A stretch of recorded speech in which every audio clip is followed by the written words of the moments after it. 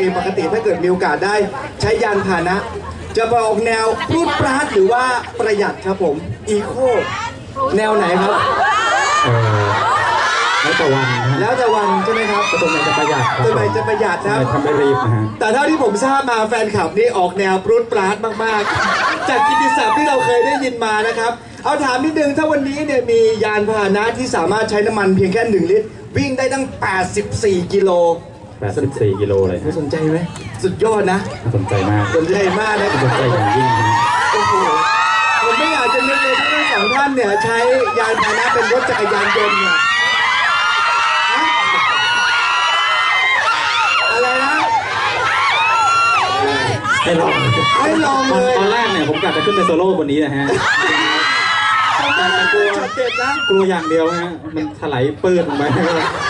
ก็ชีวิตดีเลยนะฮะแต่ ที่ปวดไหล่อยู่ก็แอดมิดไปสักสองเดือนนะฮะครับผม วันนี้ถามความรู้สึกอีกครั้งหนึ่งเมื่อกี้เห็นพูดถึงชาวสุพรรณไปแล้ว ครับมาเป็นครั้งที่ถ้าเป็นครั้งนี้เป็นครั้งที่เท่าไหร่ครับสามครับผม สามรู้สึกยังไงบ้างครับ เอาไหนชาวสุพรรณที่มาให้กำลังใจซิงคูล่ามีไหมฮะ หรือว่ากรุงเทพล้วนๆฮะเนี่ย โอ้โหกรุสุงพเทรรพณก็กรุงเทพก็ยกเป็นหน้ามาไปก่อนนะครับ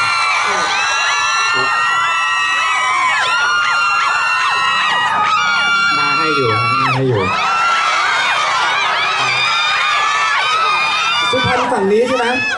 สุพรรณฝั่งนี้สุพรรณขึ้นมาบนเวทีนะโอ้ยมีมีอิจฉาสุพรรณขึ้นมาเอาไม่ขึ้นนะครับ